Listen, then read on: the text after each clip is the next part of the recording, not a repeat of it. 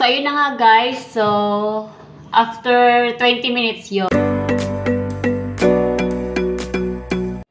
Hello guys! Good morning! Welcome back to our YouTube channel!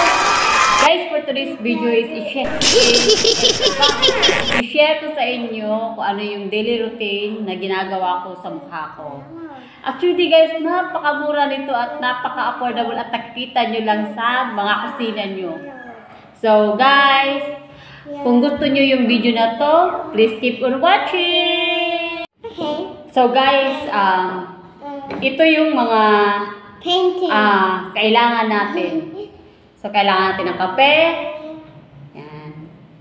Isang itlog. Siyempre, brush. Tapos, um, mangkok. Ito, maliit na mangkok. Ah, kutsara. So, guys, ah, bago niya pala umpisahan to is, kailangan niyo munang maghilamos. So, ako nakapagilamos na ako. Lahat talaga ng eyebag ko. so, ngayon, umpisahan na natin, guys. So, kailangan natin mag-date. So, ang sa itlog, guys, is, ang kailangan lang natin is yung white lang. Okay? Hindi natin isasali yung pula. Kailangan kunti lang. Yan. Yan.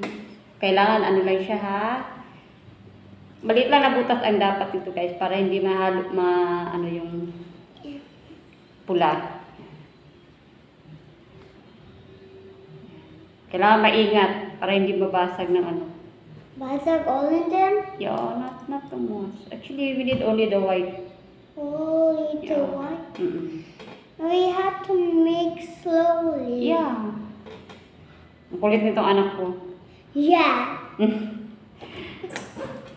Ayan, sobrang dami. Yeah, we have to paint. No. Don't touch. Okay. Yeah. Is that that's all for ingredients? Yeah, it's, what what is called this one? It's an egg, right? Egg. What that? So, ito na yun siya, guys. Yan. Kung nakikita nyo yan. Yan. Ang dami kong nailagay. Pero okay na din yan. Yes. And then, maglalagay tayo ng coffee. Sugar. Coffee. Yes. So, kayo na lang magtatansya kung Coffee. ah Uh, coffee. kung gaano karami ang gusto nyo. Kasi ako, ang nilalagay ko is dalawang ganito. Tapos, Tapos? ini-stack ko na lang siya sa ref. Yes. Kung ay, yung ginawa ko at hindi siya naubos, so ini-stack ko na lang siya. Nilalagay ko siya sa ref. Yet. Yan. So, imimix lang natin. Yan. Alam nyo ba guys na ang kape ay may ano siya, antioxi- antioxidant.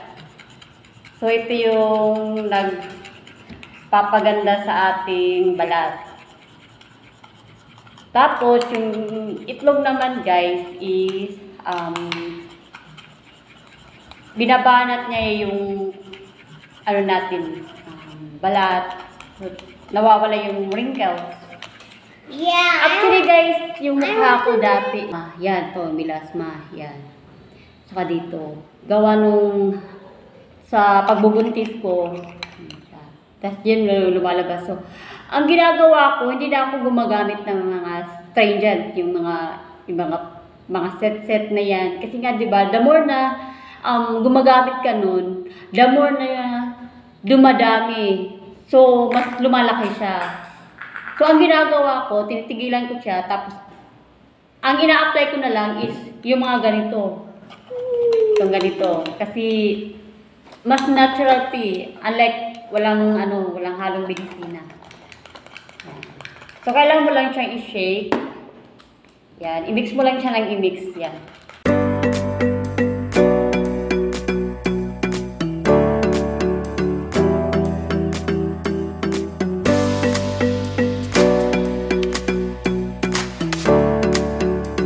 So, ngayon guys, okay na siya. Yan.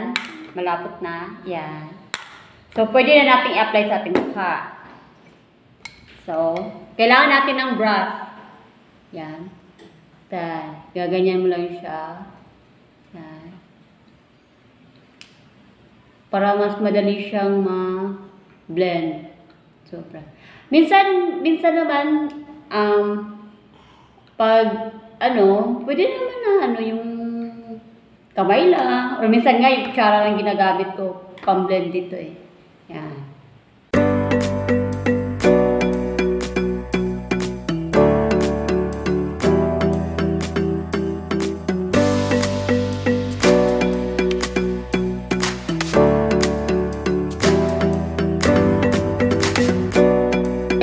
Guys, ayan. Um, natapos ko na siyang lagyan. So, aantayin na lang natin siyang mag-dry. So, after 20 minutes yon So, tuyo na siya. Sa, ang tigas na ng mukha ko. Binabanat ng itlog yung mukha ko. Ang tigas. Yan. So, ngayon is, ah, maghihilamos na tayo. Ngayon guys, ang hindi ako nagpo-promote ha. so ngayon, ang ginagamit kong ah pampano sa mukha ko, sa bulis ito, yung pants. Yan. Pants white.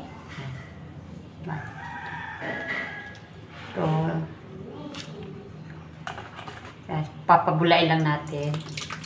So, wag nyo i-direct sa mukha nyo. Kailangan nyo munang parang maging pong. Kaya saka nyo siya i- i- ano nyo sa mukha nyo. Yan.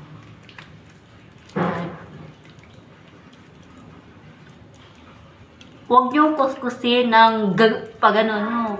Kaya lang smooth lang. Kasi nga yung mukha natin is napaka-sensitive nung balat.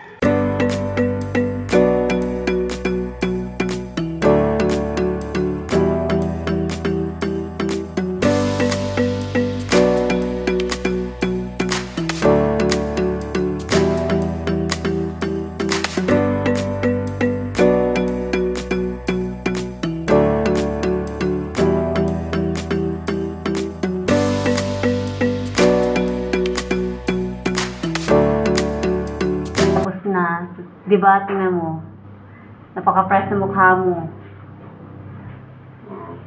Tapos sa pag, ano ng pagpunas, huwag yung gaganyan. Gaganyan, parang damp-damp lang. Yan. Yan. Yan. Yung result. Yan. Nakikita nyo. Di ba ang press? Sa totoo lang guys, ito lang yung nakakalight, nakakalighten nung ano ko, nung dark spot ko dito na side. Yan. Ito, ito, sobrang ano to eh. Yeah. Kitang kita ngayon, light, naglalighten na siya. Yan. Hindi siya ano, hindi siya yung pagbuhat na gumamit ka is agad-agad na natatanggal to, no. Kailangan mo lang talaga tiyaga. Trust the process. So guys, kung nagustuhan nyo yung video na to, please don't forget to like and subscribe our YouTube channel. And please hit the bell button below para ma-notify ka sa lahat ng mga bagong videos na i-upload ko. See you guys! Bye!